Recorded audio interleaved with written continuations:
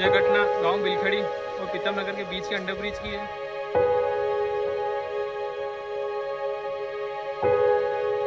ये तस्वीरें आपको झकझोर कर रख देंगी, जहाँ मरीज़ को लिए एंबुलेंस खड़ी की खड़ी रह गई और मरीज़ ने वही दम तोड़ दिया।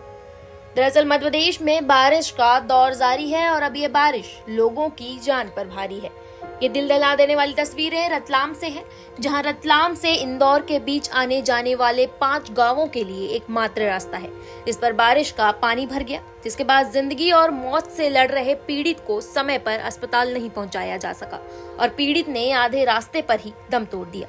इसके बाद लोगों द्वारा मृतक के शव को भरे पुलिया से चारपाई में लिटा कर ले जाया गया।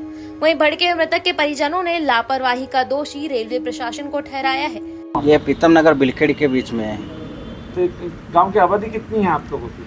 लगभग हो गई सात सौ छः सौ सात सौ। अच्छा तो बारिश में हमेशा ऐसी प्रॉब्लम आती है क्या? बारिश में हमेशा प्रॉब्लम आती है। तो आप लोगों ने कभी किसी को बोला है? बोला था दो तीन बार बोला है सरपंच वगैरह इनको भी बोला है। हाँ। क्या? क्षेत्रीय जो जनप्रतिनिधि है फिर फिर सबसे फिर फिर क्या हुआ? फिर क्या हुआ? हम अंडरब्रिज में पानी भरा होने के कारण फिर हम खाट तो खाट में से तो के लाए और एंबुलेंस में डाला हमने फिर यहाँ लाए। वहीं परिजनों ने बीमार को लाने में हुई मुसीबतों को देखते हुए अंतिम संस्कार भी रतलाम में ही करने का निर्णय किया। ये हुआ कि हम उनको यहाँ वहाँ से यहाँ तक तो ले आए जैसे तैसे करके। अब यहाँ से हम ले जा नहीं सकते उनको क्योंकि वहाँ इंडर ब्रिज ये सब बड़ा पानी है कि वहाँ से निकल नहीं सकते हम उधर। गाँव में घर- जाने के लिए जगह नहीं है। तो फिर अंतिम संस्कार कहाँ करोगे? यही आप रतलाम में ही कर देंगे। अच्छा तो परिवार वाले सब आ गए? हाँ परिवार वाले आ गए। अच्छा हुआ क्या था पापा को? पापा तब तबियत पापा क्या है कि गाँव में गए थे। तो उधर से मतलब शाम को रात में आए नहीं थे। फिर तो वहाँ गिरे पड़े थे तो उनको उठाया उसको लेकर फिर यहाँ हॉस्पिटल लेके आए जैसे कैसे लेके आए? क्या क्या समस्या ट्रैक्टर से लेके आए ना वादी दूर तो ट्रैक्टर से लेके आए ब्रिज तक। ब्रिज से फिर हमने खटिया पे उनको सुलाया। खटिया पे से सुला के जैसे जैसे पानी पानी इतना इतना पानी था इतना उसको निकाल के जैसे तैसे करके लेके आना है।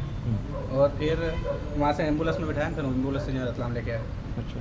तो यहाँ क्या किया डॉक्टर ने? डॉक्टर ने चेकअप वेकअप कराया ना फिर उसके बाद अभी चल रहा है कार्य। वहीं बता दें कि पाँच गाँवों को जिला मुख्यालय रतलाम से जोड़ने के लिए बनी सड़क पर पहले रेलवे क्रॉसिंग बीच में था। लेकिन रेलवे ने करीब पाँच साल पहले रेलवे क्रॉसिंग बंद कर रेल पटरी के नीचे से अंडर ब्रिज बना दिया। अब अंडर ब्रिज क्या बना इन गाँवों के लोगों की बारिश में मुसीबतें शुरू हो गई।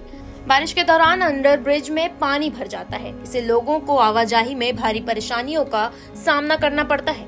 इन गाँवों के लोगों को करीब 15 से 20 किलोमीटर घूमकर रतलाम आना पड़ता है। वहीं अब इस घटना के बाद लोग आक्रोश में हैं और रेलवे प्रशासन पर सवाल खड़े कर रहे हैं। वहीं अब देखना यह है कि सरकार इस पर क्या एक्शन लेती है। रतलाम से विजय मीणा की रिपोर्ट, एमपी तक।